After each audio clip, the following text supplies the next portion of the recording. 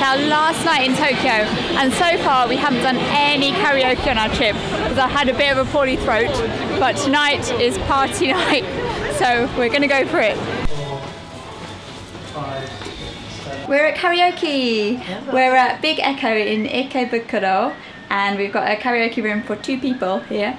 It's quite small. There's the screen, the speakers at the top, the door, You've got a music system just for controlling stuff down there. Change and there's a bench seat here.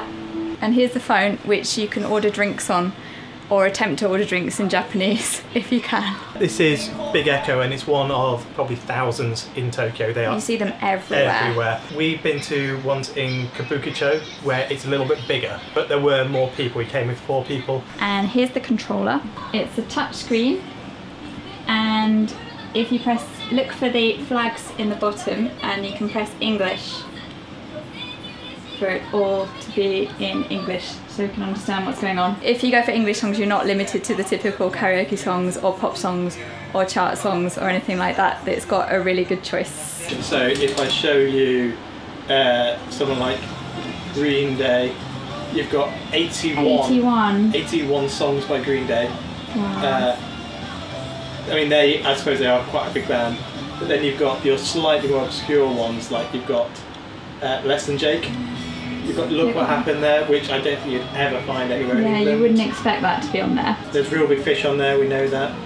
Goldfinger.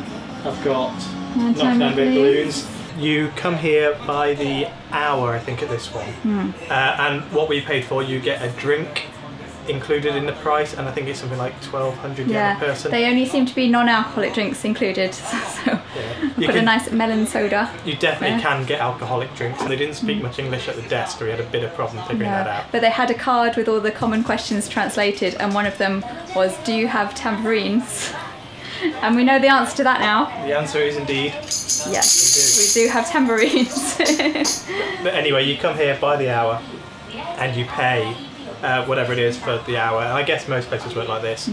Once Hmm. You are done, yeah. Once you're done, you either go downstairs and set up your bill, or you just stay in this room and you, you keep singing, and they'll just sort of add it up uh, by the end. So you just stay for as long as you're having fun. and it's a lot of fun. It is far more fun than you think it might be. Everyone has fun. It, it's great, You don't have to be good at singing, although we're fantastic. of course. But you're not watching.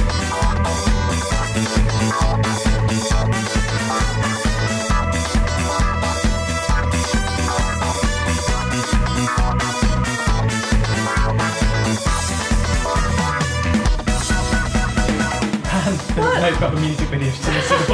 The, the video is of a ferry.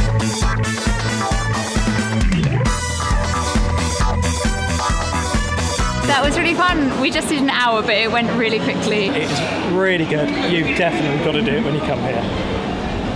My arm hurts. Bill's trying a new strategy with the hamsters. I will win the hamsters.